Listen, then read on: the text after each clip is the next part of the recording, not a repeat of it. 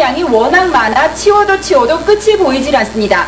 오늘 하루 전면 통제됐던 이곳 남부순환로의 통행 재개는 따라서 좀 더 시간이 걸릴 것으로 보입니다. 토사가 유출돼 허리가 흉물스럽게 뚝 끊긴 우면산 자락 앞으로는 토사를 실어 나르는 대형 트럭들이 계속 들어오고 있습니다. 또 포크레인 등 중장비 수십 대가 예술의 전당 부근 남부순환로 2km 일대 복구 작업에 투입돼 있는 상태입니다.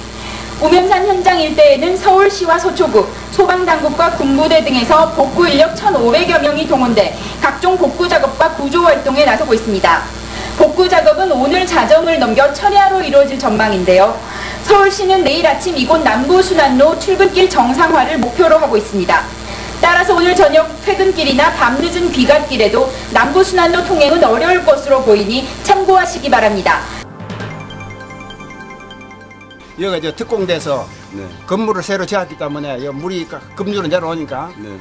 이거 저 대대로 하수가 있어요. 그걸 정비를 고치라. 네네. 하수가 있긴 있어요. 하, 하수가 길이 있는데 네네. 거기 죽어 있어요 지금. 아, 네. 그때.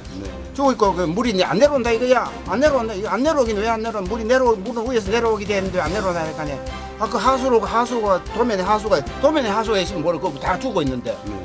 그럼 복구 시기라기. 예, 복구 시기 있습니까? 몇분 가고 복구 안 시키고 그 이번 어제 복구 시기 어제.